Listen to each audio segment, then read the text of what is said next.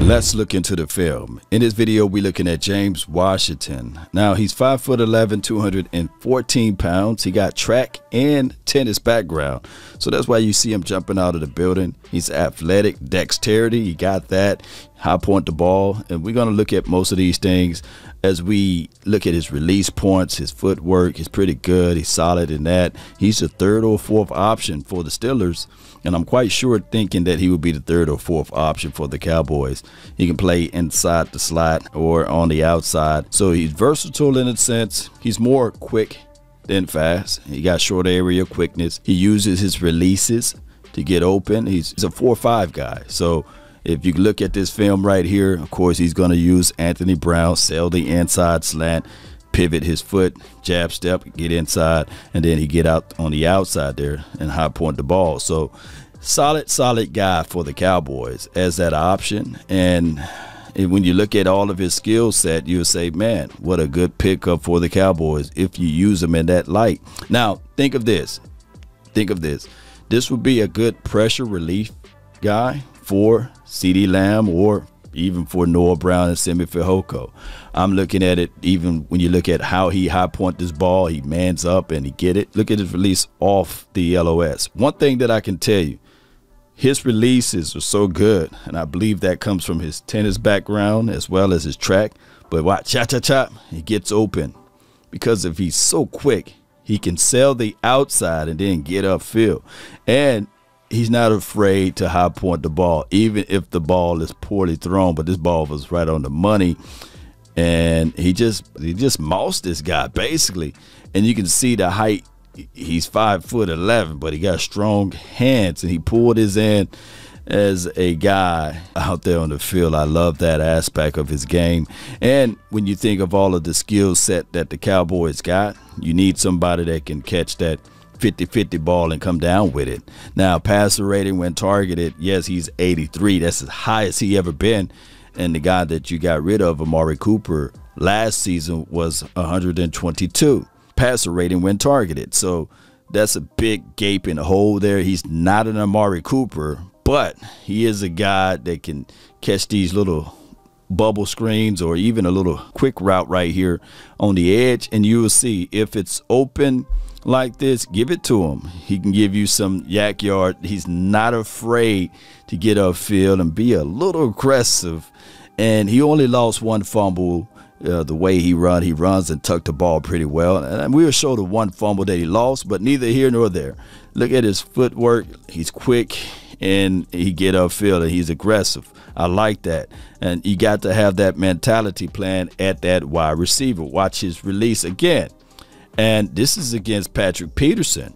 He sells the out and get right inside where the opening at. I love when I see footwork like this. Look, Patrick Peterson, and he got the safety over the top. Once the safety climbed down inside to peek at the tight end that's coming in the middle of the field, this guy He's going to sell the out, and then he's going to come squeeze right in and find that soft spot. And Big Ben put it right on the number. Yeah, chop, open up his hip, and it's, it's pretty much over with from there. He need that separation there to high point the ball. Watch how he open Patrick Peterson. And keep in mind, this is the old Patrick Peterson. But hey, you get used, you get used. You need to switch to safety if that's the case. He But he opened him up. He opened him up. He sell the out. He playing the boundary tech and then he squeezes him back inside. And that's separation right there, Cowboy Nation, and everyone that's listening. All right, so watch. And then he high point the ball, and he come down with the score, and he spikes it. And I believe 23 is Xavier Woods, so he got both of those guys. And Xavier Woods climb inside to pay attention to the look at that separation. and look at her, baby. Look at that. That's separation right there. And he got it by running a good route and he high point the ball. That's Xavier Woods and that's Patrick Peterson and he come down with the ball. Good sure hands catcher when the ball is in the air and he spikes it on him. I like seeing that. All right, so a little curl and he gets some YAC off of it. And then he makes sure he still extend that hand. He's just not going to go out and say, hey, I'm your friend. He gets the YAC yards and he extend, you know, even though he's going out of bounds. I like seeing that. You can throw him a little short route, not a lot of separation of breakaway speed. but he's fast enough. He was the deep ball threat guy for the Pittsburgh Steelers. As a third or fourth option, I like that and sliding him inside the slot. I like the fact that you got a guy that's poised enough, that understand to get vertical, sells it, although the ball is underthrown. I like seeing this because he helps the quarterback out. But think about this short area quickness got it. Guy just gets off of his man because he sells it. Like I'm coming across, and then his DB have no chance of connecting or keeping up with him. I like it. And he goes untouched basically until this guy get him. And that is how you got to run that seam route. When you're running it, you can't give off indicators that you're going to cut or you're going to move up inside. And if that guy is playing a zone principle, you'll find that opening spot. And speaking of opening spot, watch how he creases inside on this seven route and and he gets there. All right, creases, shifts, and find a soft spot in the zone. Watch how he extend his hands. So I, I like that. That means that he's not a body catcher and find a soft spot in the zone on that on that route there. I like seeing that and the ability to come back to the ball or what have you. And look at this, catching the ball on the out here, and we'll see a lot of those passes in this particular offense. Just relief foul. You got so many wide receivers for the Steelers. You spread them, and you find your open target, and he would do the rest. And I like seeing that Cowboy Nation. Watch James Washington off of this one. Now he tried to get the more yards. This is the only fumble he gave up in his career. Got got caught being wild with the ball, and he's gonna have to better protect the ball if given that opportunity for the Cowboys. And just good heads up play by the defense for the Titans there. But I just had to show you guys the good, the bad, and the ugly. And speaking of that, let's show you some more of the good right here. This guy's not afraid to split the D. Pay attention to how he set this up. Now, he gives him the out. Remember, I'm talking about he's the tennis guy, grew up playing tennis and track, and he jab steps on the outside and he creates that separation there. Receiver turned him, his back is turned, so he's chasing to a point on the field because he already bit for that outside. And now he chasing, and this DB this safety have no way of catching up right there. Short area quickness, that's what he got, and he's able to catch this ball right from Big Ben. So when we look at everything, we're looking at short area quickness, foot placement, jab step, able to get the separation. May not seem like a lot, but it is. Watch the separation. That separation, that's NFL separation. Safety have no chance of making a play on that ball, and he catches this touchdown. Now he don't win them all, and this ball should have been thrown to the outside shoulder. But what we want to look at as the uh, wide receiver versus DB, can he get off a press? And we can clearly see that James is able to get off press, get him off, not able to jab, and that's separation. Ball should be thrown on the outside shoulder toward the sideline, so only James or the boundary sideline can catch this ball. But unfortunately, thrown inside, and of course, uh, the DB is able to make and regain position to get this interception. And it's not James' fault, but you can clearly see that the separation from the LOS is there. Yeah. Throw that thing to the outside shoulder, man. Who knows what could have happened? You know, could have been a touchdown.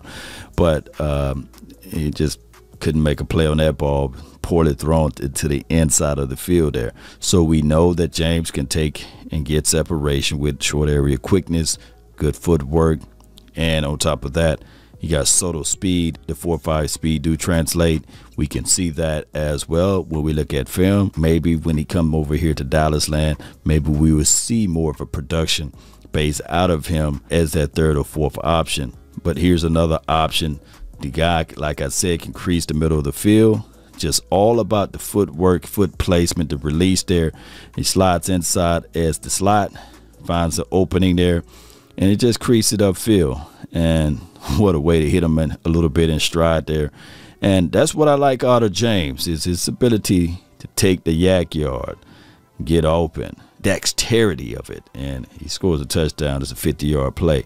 And how did this all happen? Because he got good footwork, and on top of that, come back to the ball. Look, don't allow the ball to hit his body or frame. Come back to the ball. Got over pursuit, balances well. He got great balance, good body control, and he get upfield. yeah, yeah. He kind of runs like uh, Michael Gallup a little bit. The 13 kind of remind you of Michael Gallup. Once Michael Gallup get healed and ready, and he would been he'd been doing some of the heavy loads there. Um, I'm quite sure that he's better than Noah Brown at this point, as well as Simi Fehoko.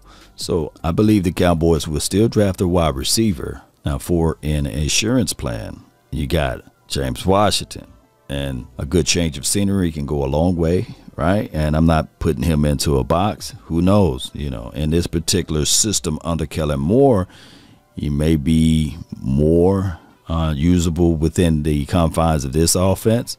But I, I look at uh, James Washington as a good third or fourth option. And but for right now, he will be one of the veteran receivers on this particular team. And it, this will give a good relief valve for CeeDee Lamb. All right, so post me your thoughts, post me your concerns of James Washington.